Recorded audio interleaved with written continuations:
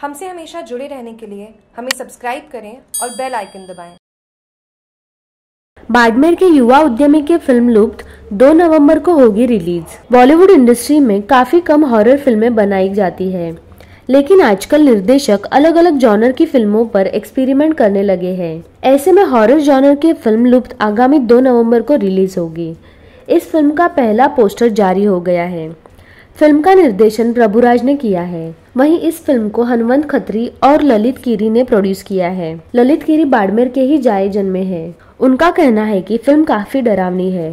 Film को परिवार के लोगों के साथ देखा जा सकता है। वहीं लुप्त फ़िल्म के पोस्टर व ट्रेलर ने काफ़ी सुर्खियाँ बटोरी है।